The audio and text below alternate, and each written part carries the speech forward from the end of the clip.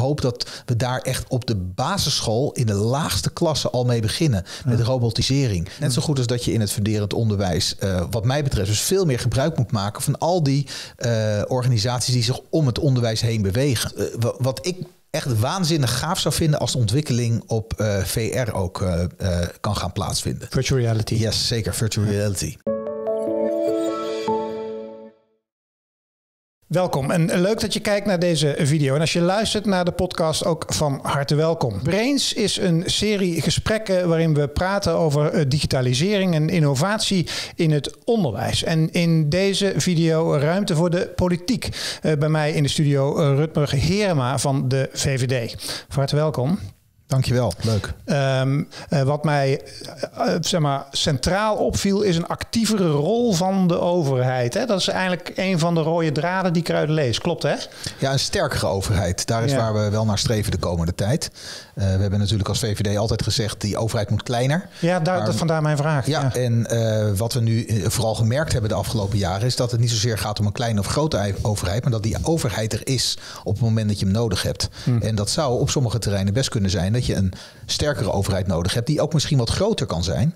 Uh, maar als, als die er maar voor de mensen is. Laten we beginnen met een stukje actualiteit. Ik las vandaag uh, het FD, uh, het, het NBO gehackt. Ehm, wat zegt dat over de kennis op het gebied van ICT dat dit soort dingen gebeuren? Ja, dat is gewoon veel te laag. Daar moet je ja. gewoon heel eerlijk in zijn. Uh, ik denk dat je daar ook experts voor nodig hebt en niet mensen die uh, daarvoor binnen het onderwijs zijn opgeleid. Ja. Uh, en dat is denk ik ook iets wat je uit ons verkiezingsprogramma kan halen. Dat wij veel meer met marktpartijen willen samenwerken om dat onderwijs te kunnen gaan verbeteren de komende jaren. Ja. En de veiligheid van het onderwijs, waar we het nu over hebben. Zeker Maastricht is daar het grootste voorbeeld van wat mij betreft. Daar zie je dat het onderwijs het zelf niet op kan lossen.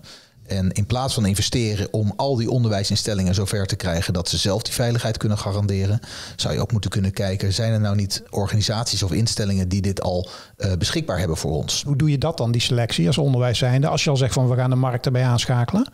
Nou ja, dat, dat is wel de keuze van het onderwijs zelf natuurlijk. En dat is een van mijn grote irritatiepunten in het onderwijs. Dat wij wel heel veel geld naar het onderwijs uh, sturen, hè, via de lump sum bekostiging bijvoorbeeld. Ja. Maar dat we er als overheid maar heel weinig sturing op hebben vanwege artikel 23 namelijk de vrijheid van onderwijs. Mm. En dat betekent dat uh, als je uh, uh, wil helpen, dan moet je een soort van bestuursafspraken maken om de juiste keuzes bij het onderwijs ook terecht te laten komen. En we hebben een hele hoge standaard van uh, ICT in Nederland. We hebben bedrijven die doen het fantastisch. Mm. Zijn internationaal ook uh, vermaard. Uh, maar op een, een of andere manier lukt het niet om die op dit moment nog aan het voldoende aan het onderwijs te koppelen. Ja. Dus ik denk dat je daar best een soort van smeeroliemannetje uh, zou moeten spelen als overheid tussen uh, de partijen die hier verstand van hebben en het onderwijs, wat in de basis toch vrij conservatief is. Wat is de kern? Want je kan er niet zeggen dat er weinig geld naar het onderwijs toe gaat. Wat is nou de, de kern van het probleem dat ICT zo slecht geregeld is? Er gaat inderdaad heel veel geld naar ons onderwijs toe. Volgens mij zit er 42 miljard in dat hele ja. ministerie. Is er vorige week ook nog eens 8,5 miljard incidenteel vrijgemaakt. En nog eens een keer 600 miljoen structureel vrijgemaakt. Dus er gaat ook heel veel extra geld de komende jaren naar het onderwijs toe. Mm. Uh, maar ja, het conservatisme en het achter de markt aanlopen, het achter de maatschappij aanlopen, is wel iets wat het onderwijs echt parten speelt. Ik merk sowieso dat onderwijsinstellingen, wat, wat hè, of het nou gaat om, om basisscholen, voorzet onderwijs of de grotere instellingen in het MBO, HBO, WO, dat ze lang niet altijd dat uh, middelpunt in die lokale samenleving zijn. Waarbij ze samenwerken met allemaal externe partijen, verenigingen, stichtingen. En dan kan je denken aan kunst, cultuur, muziek, theater, dans en sport. Maar ook bedrijven uh, en ondernemerclubs. Als, als, onderdeel van het onderwijs. Als onderdeel van het onderwijs. Om die te betrekken bij school. Zodat je niet meer uh, dat gebouw in die lokale omgeving bent. Maar dat je die gemeenschappelijke samenkomstruimte bent voor die hele lokale maatschappij. Er wordt natuurlijk al samengewerkt tussen bedrijfsleven en onderwijs. Uh, maar jullie hebben het idee van dat er uh, makkelijker als bedrijf zijnde, zeker in het MBO, uh, dat je onderwijs moet kunnen aanbieden. Ja, absoluut. En ik heb daar bijvoorbeeld ook een aantal voorbeelden van gezien die ontzettend goed werken. Mm. Waarbij bijvoorbeeld een, een, een heel ROC alle studenten als stagiair binnen bijvoorbeeld een zwembad positioneert of in het Gelredoom in Arnhem positioneert. Waarbij ze alle taken doen, volledige dagen organiseren. Waarbij het bedrijf volledig gerund wordt door de stagiairs en het, de ROC-instelling. Je hebt voor de klas gestaan ook, hè? Klopt, dus ja. onderwijs, onderwijs, mis je het wel eens? Ja, zeker. Ik vond het ontzettend leuk om te doen. maar ik merkte wel dat, dat mijn ambitie gewoon wat meer was dan voor die klas staan. Ik, vond het, hm. ik ben afgestudeerd in eerste graads docent in lichamelijke opvoeding. Maar ik heb ook sportmanagement daarna gedaan. En sport? Actief. En heel actief sport. Dus ja, ik, uh, ik heb vroeger in het Nederlands zwemteam gezeten. Heel erg leuk om uh, te doen. Ben zwaar geblesseerd geraakt. Toen ben ik naar de Academie Lichamelijke Opvoeding gegaan.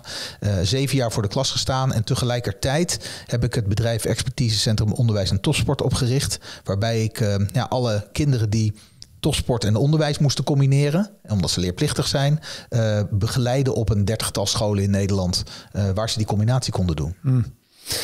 Als we nou eens naar de leermiddelen kijken, naar de inhoud van het onderwijs. Wat is daar de rol van ICT en wat kunnen we daar uh, innovatiever maken? Dus echt het digitaliseren van het onderwijs zelf. Uh, wij hebben in ieder geval gezegd, we willen toe naar een aantal kernvakken wat voor alle kinderen belangrijk is om te leren. Even over het funderend onderwijs praten, want daar ligt de start voor jouw digitale carrière. Ja. Uh, en daar hoort digitalisering als kernvak bij. Geef dat eens vorm dan in het funderend onderwijs, digitalisering, wat houdt het dan in?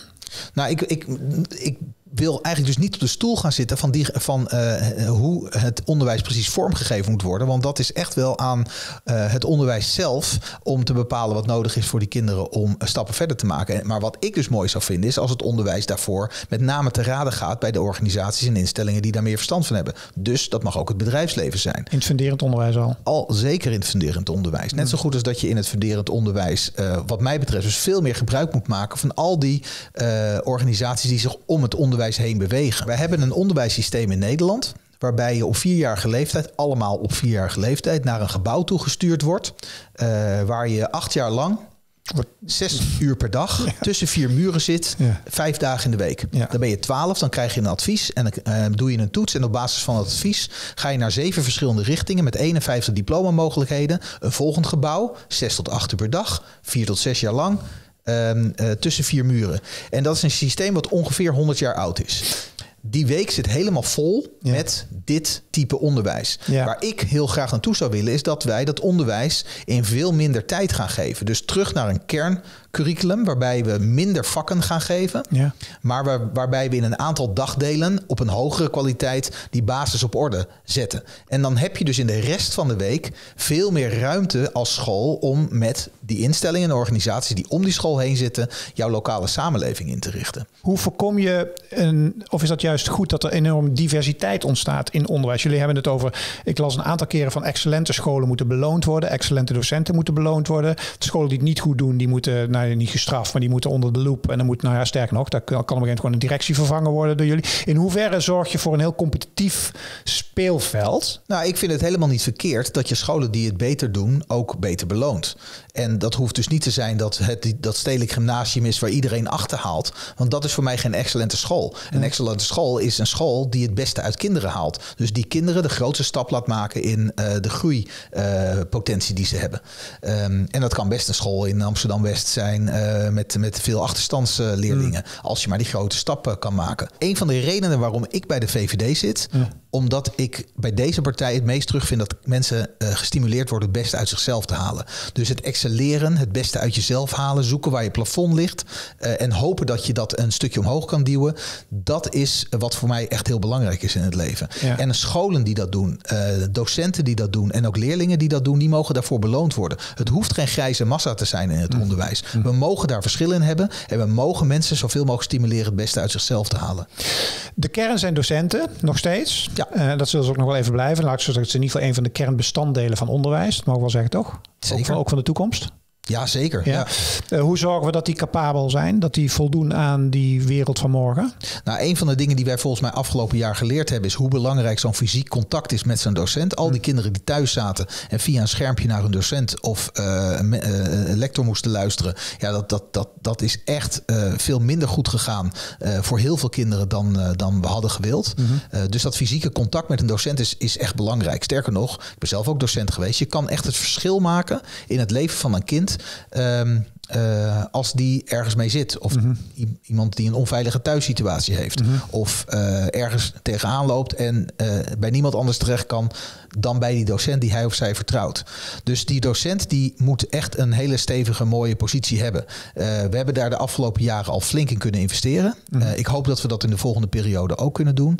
Juist om dat vak van docent belangrijker te maken, aantrekkelijker te maken en te zorgen dat er meer mensen kiezen voor uh, dat vak. Die, maar ja. ik wil er één ding aan toevoegen. Ja. Wij hebben natuurlijk die hele ehm, conservatieve lijn van opleiden. Namelijk, je gaat naar een docentenopleiding. Je doet een aantal uh, maanden stage en je gaat, komt in het onderwijs terecht. Wat ik zo mooi zou vinden is als wij veel meer werken met hybride docenten. Of docenten die vanuit de zijkant instromen. Dus die een maatschappelijke carrière hebben gehad. En op latere leeftijd besluiten. Maar het onderwijs, dat lijkt me fantastisch. Dus we hebben daar ontzettend veel geld voor vrijgemaakt. Hè? 18 tot 20 miljoen. Speciaal om mensen vanuit de zijkant naar het onderwijs toe te trekken. Fulltime of mag je het ook combineren? Je mag het zeker combineren. Dat is die hybride docent. Die docent die en uh, bijvoorbeeld in een bedrijf werkt, maar ook een aantal uur of dagen, dagdelen voor de klas staat. Als je dit soort plannen wil gaan executeren, hoe doe je dat zoiets dan? Dat doe je langzaam en in kleine stapjes. Ja. We hebben gelukkig wel gezien dat de coronacrisis heeft aangegeven dat het onderwijs flexibeler is dan ik ooit had gedacht. Zo. De schakeling van uh, in de klas uh, kinderen digitaal. als een spons iets op uh, laten nemen naar digitaal is naar mijn verrassing echt veel beter gegaan dan ik ooit had durven dromen. Mm -hmm. Dus die flexibiliteit die zit er ergens wel in. Uh, ik denk dat er ook misschien te maken heeft met, met, met leeftijden in het onderwijs. Hè. Dat, dat misschien de jongeren die net van de opleiding afkomen daar flexibeler in zijn dan mensen die al 20, 30, 40 jaar voor de klas staan. Mm -hmm. uh, dat, dat merk ik ook wel bijvoorbeeld op de school waar mijn eigen dochter op zit. Uh, mm -hmm. Ja, daar, daar zit gewoon verschil in. Um, ik word gelukkig niet zo snel moedeloos van iets. Voor mij is het juist een hele mooie uitdaging om zoiets voor elkaar te krijgen. Maar het moet in kleine stapjes. We hebben bijvoorbeeld geprobeerd om uh, tot een lerarenregister te komen. Waarbij we alle docenten in Nederland uh, een soort van verplichten om bij te blijven op je eigen vakgebied. Mm -hmm. uh, dat is er niet van gekomen. Mm -hmm. omdat docenten, een flink aantal wel natuurlijk, maar ook een heel aantal docenten na die opleiding geen cursussen meer doen om bij te blijven bij datgene wat noodzakelijk is voor hun, uh, ja, voor hun kennisontwikkeling. Ja. Uh, dus die geven misschien wel kennisoverdracht wat, wat ouderwets is of achterblijft. Ja. Um, dus ja, uh, ik kan me daarom heel goed voorstellen dat juist een opleiding uh, wel goed is op het moment zelf, maar niet uh, de garantie biedt dat docenten ook bijblijven. Tot slot, we gaan tien jaar verder kijken. De hele wereld zit dan vol met robots. AI is helemaal volwassen geworden. We hebben machine learning. het is echt niet normaal wat er allemaal kan. wat is de impact daarvan, denk je, op de iets langere termijn op onderwijs? Nou, wat, wat ik echt waanzinnig gaaf zou vinden als de ontwikkeling op uh, VR ook uh, uh, kan gaan plaatsvinden. Virtual reality. Yes, zeker, virtual reality. Ik heb er al een keer eerder over gebrainstormd met een, met een bedrijf. Die zei ja, een van de meest saaie klassen was geschiedenisles. Ja, ja, ja. Stel nou dat je geschiedenis hebt en je doet je VR-bril op en je staat bij de dinosaurussen. Of je staat naast de bestorming van de Bastille. Je kan erbij zijn. Hoe blijft het hangen bij kinderen als je op die wijze onderwijs geeft.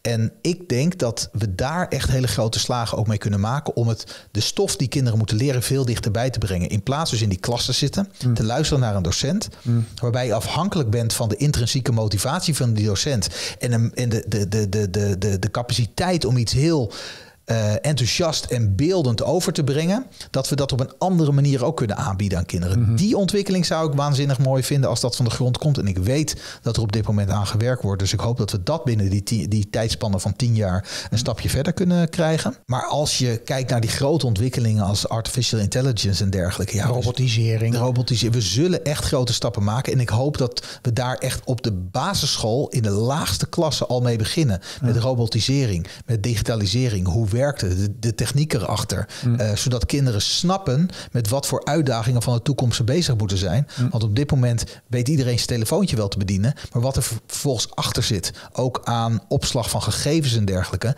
niemand weet dat uiteindelijk. Mm -hmm. Terwijl er zo'n wereld achter te winnen valt. Uh, dus ja, wat dat betreft hoort die vorm van digitalisering bij ons echt in die kerngroep. Mm. En ik hoop dat kinderen daar al vanaf jonge leeftijd mee te maken krijgen. Mag ik uh, je danken voor je inspirerende betoog, Rutme Herema. En, uh, en heel veel succes de komende weken. Graag gedaan, dankjewel. En uh, dankjewel voor het kijken naar weer een aflevering uh, uit de serie Brains... waarin we in gesprek gaan over innovatie en digitalisering in het onderwijs. Dankjewel voor het kijken. Hoi.